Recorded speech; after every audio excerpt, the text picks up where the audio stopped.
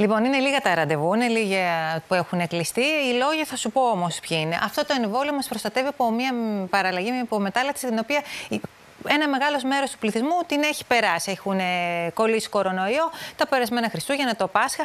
Οπότε τι γίνεται; Περιμένουν τώρα, σε ένα μήνα, σε λιγότερο από μήνα, τα νέα επικαιροποιημένα εμβόλια. Τα, οποία θα πιάνουν την όμικρον. Τα οποία θα πιάνουν την όμικρον 4 και όμικρον 5 το πιο λογικό είναι, νομίζω, το δηλαδή όλοι μας αυτό που θα βάζουμε στο μυαλό μας να το κάνουμε το εμβόλιο να προστατευτούμε, αλλά να περιμένουμε το επικαιροποιημένο. Δικαίως δεν πάει κανείς δηλαδή. Δικαίως δεν πάει. Επίσης, βλέπουν οι επιστήμονες ότι υπάρχει και μια κόποση γύρω από τα εμβόλια, μια ψυχολογική λογικό. κόποση. Και το είδαμε αυτό και στην προηγούμενη δόση, την επαναληπτική για τις ευπαθείς ομάδες, όπου εκεί ήταν πολύ λίγη η απήχηση. Πολύ, λίγα, πολύ λίγοι πήγανε. Φαίνεται, βλέπουν οι επιστήμονες μια γενικά κόποση. έχουμε χαλαρώσει τώρα, έτσι. Έχουμε χαλαρώσει, δεν βλέπουμε και από μάσκε και από μέτρα και από τα υπόλοιπα. Και πάει καλά το πράγμα.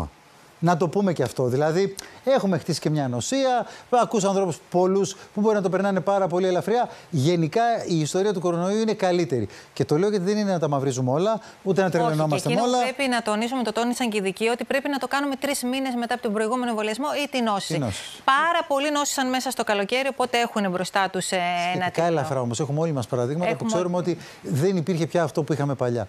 Παίζουν ρόλο και τα φάρμακα. Δέσπινα, σε ευχαριστώ πολύ.